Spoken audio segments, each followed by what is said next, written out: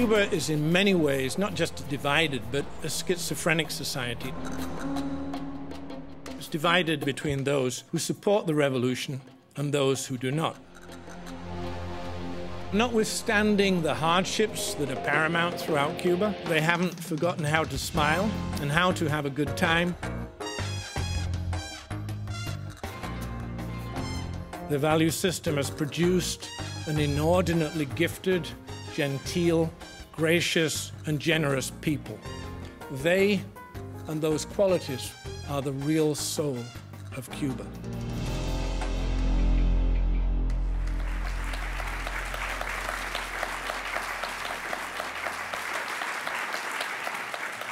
The island nation isn't easy to fathom. Um, it's enigmatic, it's ethereal.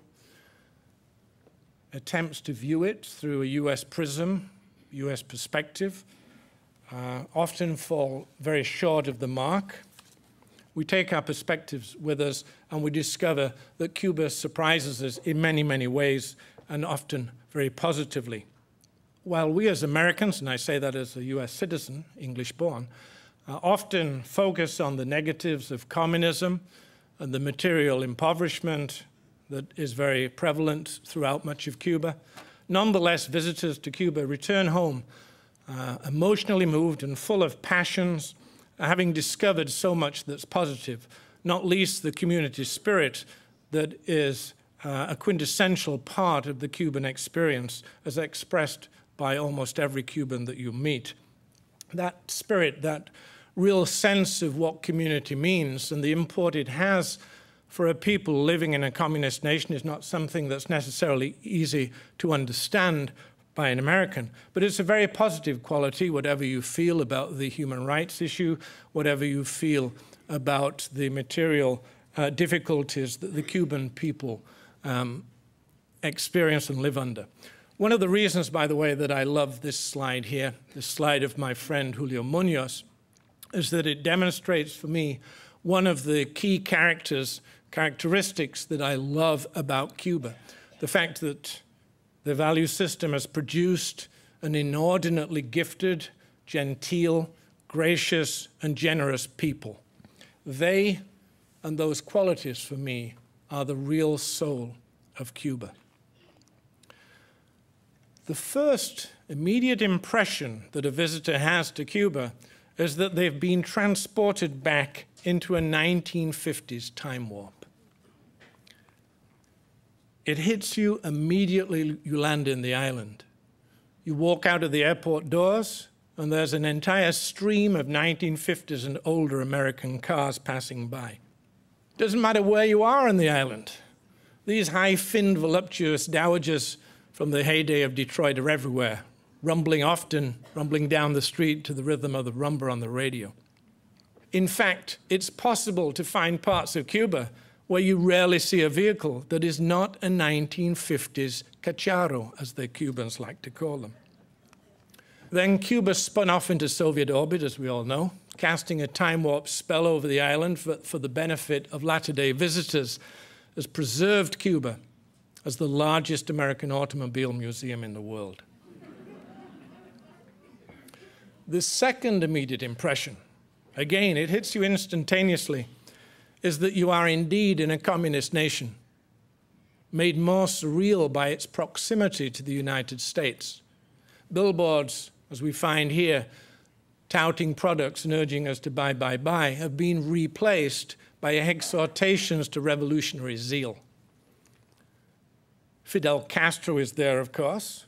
Everywhere you go, you can't escape him he's exhorting Cubans to fight on against US imperialism, not least in his ultimate proclamation that we see here, fatherland or death.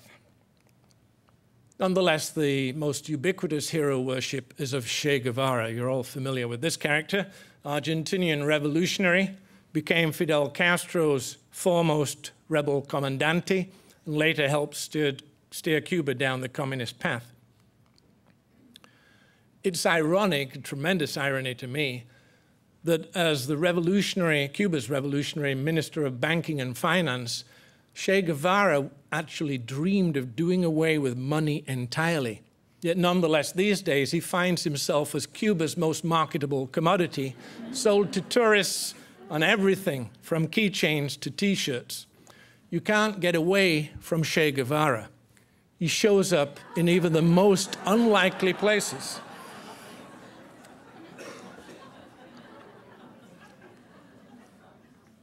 But this is a particularly fascinating time to be visiting Cuba. Fidel, in power for six decades, has passed the baton to his younger, but not sprightly, octogenarian brother, Raul. Uh, the two of them, very similar in many ways, but nonetheless, they're definitely cut from a different cloth. Raul is a pragmatist to Fidel's egoist and has initiated some may not seem to us like far-reaching reforms, but in terms of the Cuban experience during the last six decades, what I would consider far-reaching reforms that are intended to get the moribund state economy rolling. The biggest of those, by the way, which was initiated last November, is that for the first time since the revolution, Cubans are now able to buy and sell real estate. So we'll see where that goes. Um, but key to the plan is to reallocate 1.5 million state workers and bureaucrats to the evolving private sector. So currently about 400,000 Cubans have been granted licenses to operate as cuentas propistas. These are self-employed people. Um, they operate under fairly rigid restrictions. You can't employ more than five people, for example, so don't expect to see the next Bill Gates or Steve Jobs evolving anytime soon, but they can now operate in 181 categories such as watch repairmen, auto mechanics or auto upholsterers like we see here, artisans often showing the most remarkable ingenuity and skill, or taxi drivers or others who rent out their classic cars, especially if it's a convertible, for weddings, fiestas de quince, and the like the largest body of cuentas propistas actually operate private room rentals. These are for tourists, and they make up for the shortfall in hotel space in the state-run hotels. The state runs all the hotel properties in Cuba. Meanwhile, the private farmers and the private farmers' markets are alleviating the food shortages, which have been a serious issue throughout Cuba. Fidel likes to blame, always has liked to blame the US embargo for Cuba's obvious shortages, for all its failings. Uh, notwithstanding that, it may surprise you to learn that Cuba imports 40% of all its agricultural imports from the USA, thanks to an exemption to the embargo that permits agricultural exports.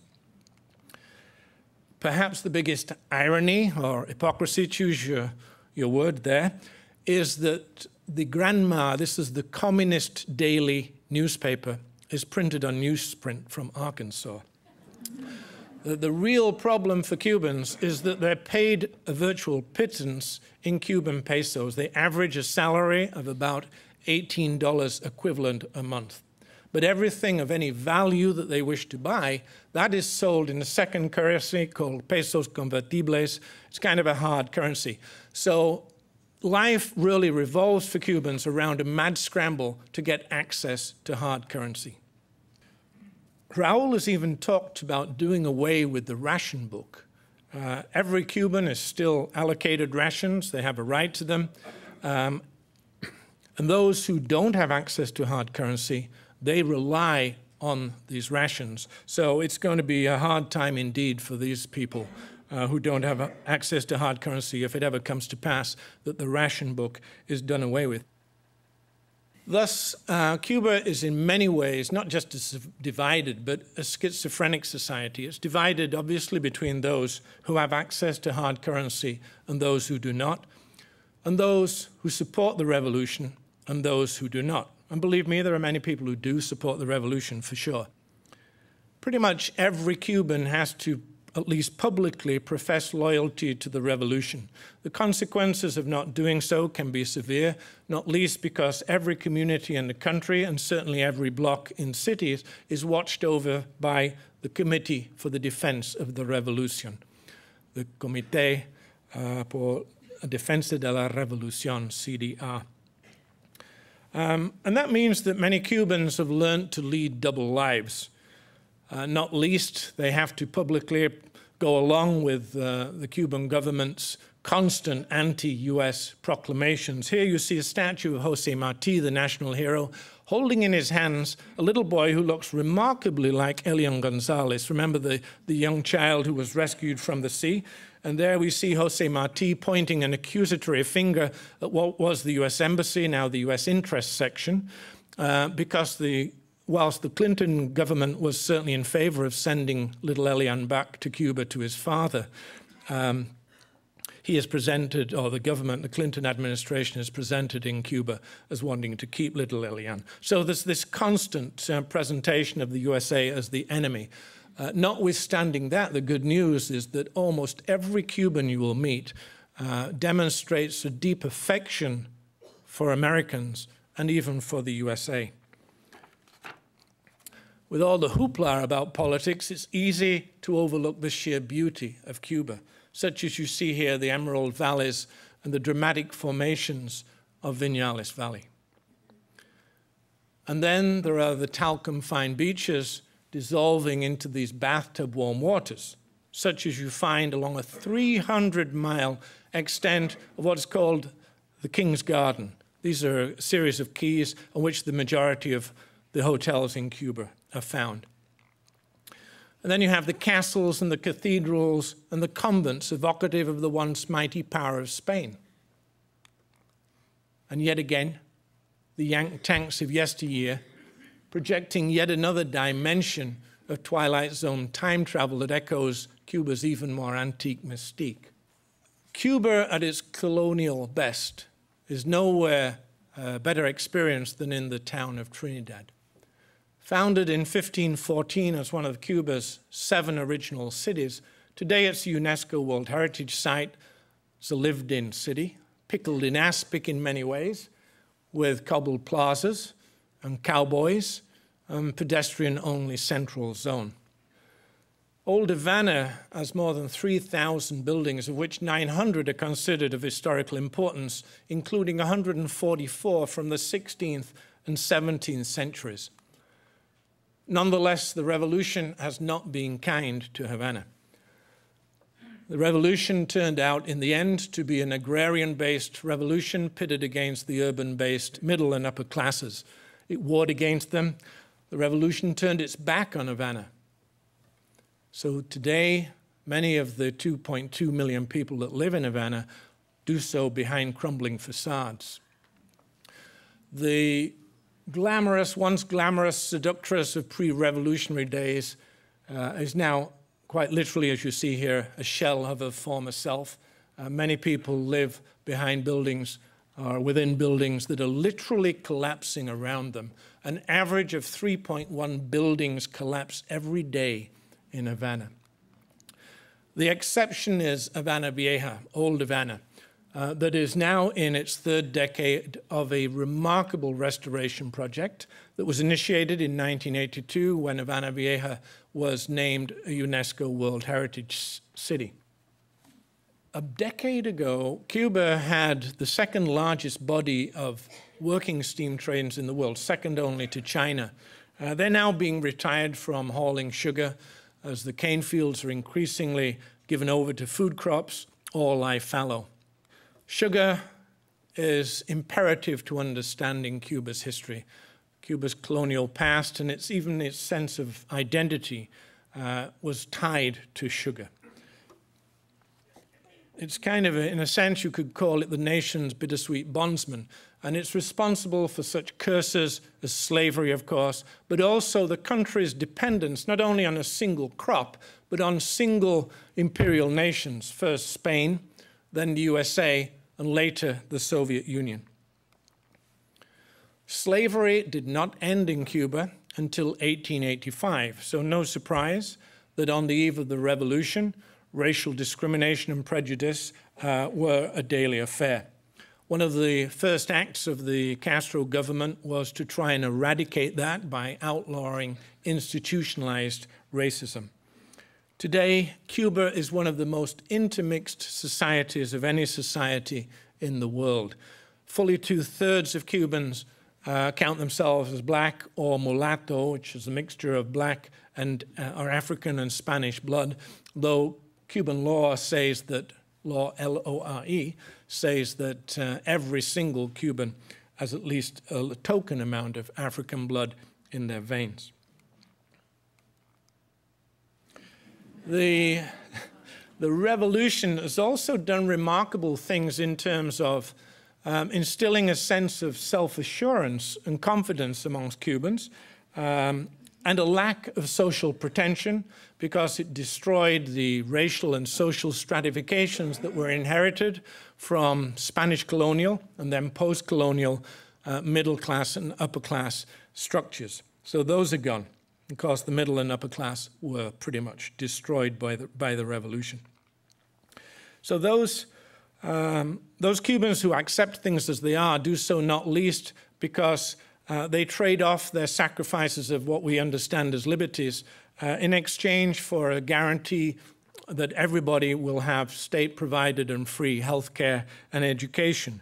Uh, that is a quote that comes up all the time when you meet Cubans. They're very proud of those accomplishments, uh, even though uh, it's not a 100% success story. Um, and you have to understand the importance of that. This is particularly true in the countryside, which was the great beneficiary in terms of health and education and even housing. Uh, there was incredible destitution in the countryside on the eve of the revolution. So notwithstanding the hardships that are paramount throughout Cuba, uh, they haven't forgotten how to smile and how to have a good time without resort to money. So in the countryside, the pleasures are pretty simple. That means cockfights, rodeos, dominoes, cigars, and cheap rum.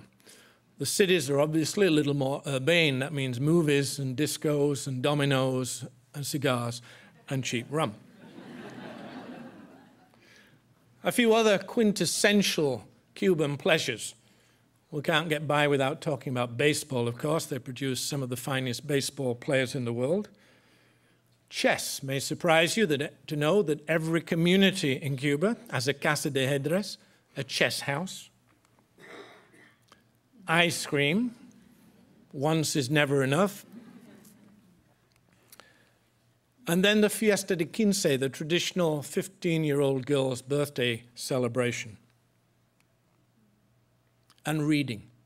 Cubans with 100% literacy are fanatics for reading, notwithstanding the paucity of reading material and the severe prescriptions in terms of censorship. And uh, you can see here by some of the titles uh, who is the most popular author amongst them. So, but Cubans save their greatest passions and pleasure for music and dance. So music, the pulsing undercurrent of life in Cuba, is everywhere, from musica folklorica to more highbrow opera and ballet. By the way, Cuba has two world-class ballet corps. It's astounding. It still astounds me. 20 years of travel to Cuba, I'm still amazed at how many young people are accomplished classical musicians.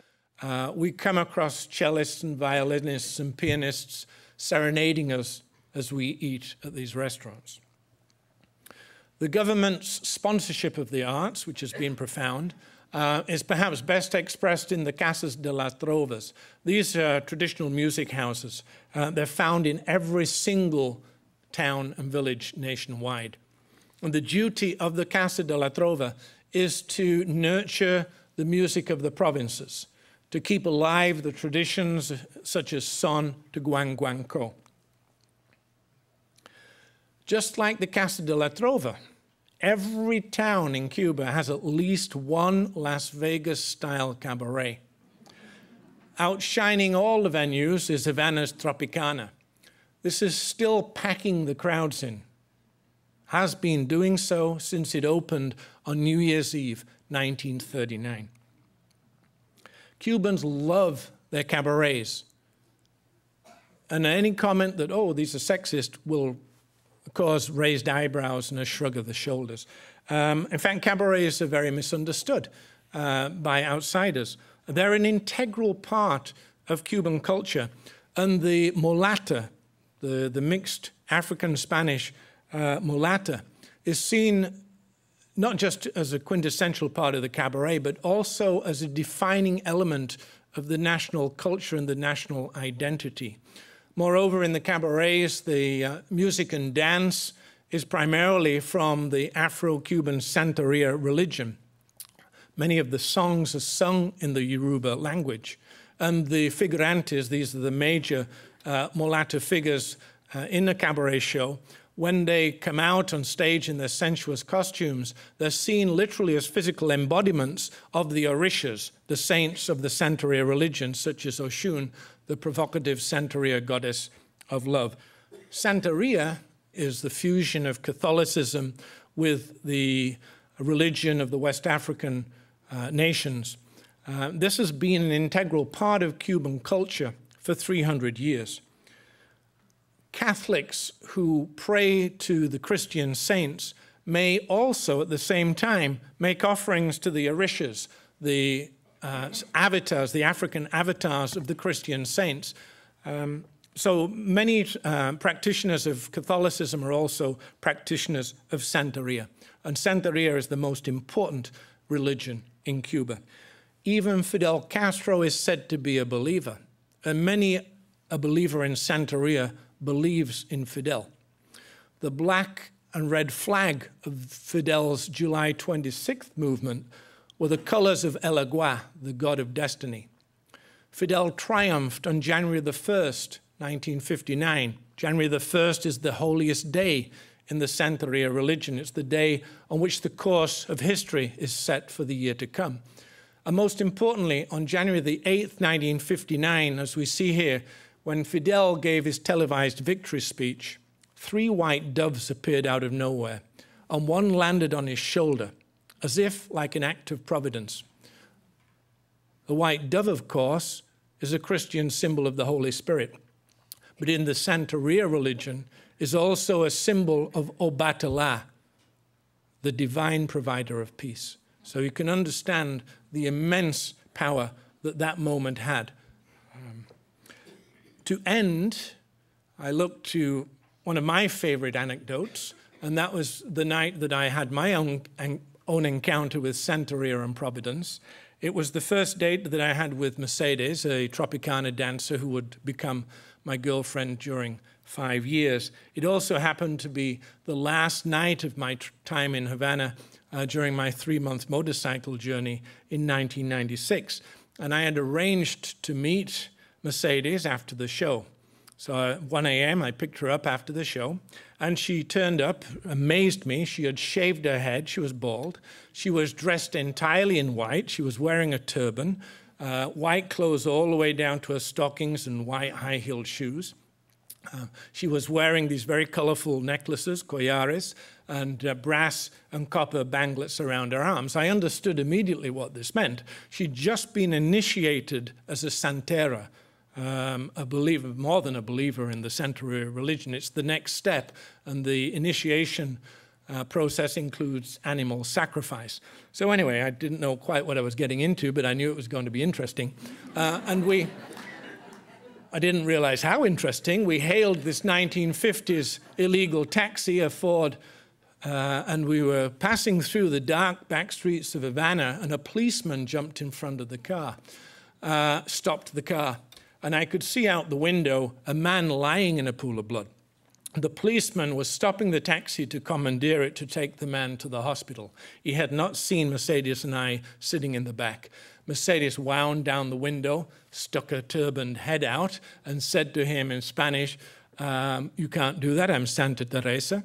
And the black policeman fingered, I remember him fingering his own collares, the necklaces, and waving the taxi on and the, the taxi driver hit the gas pedal, and I looked aghast behind me to see the policeman running off to find another car.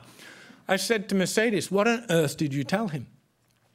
She said, I told him I was Santa Teresa, the patron saint of the dead. Had he put that man in the car, I might have killed him. I felt a chill go down my spine as I pondered what my last few hours in Cuba had in store in this island, improbable island, really, of eccentricity, eroticism, and enigma. Thank you very much.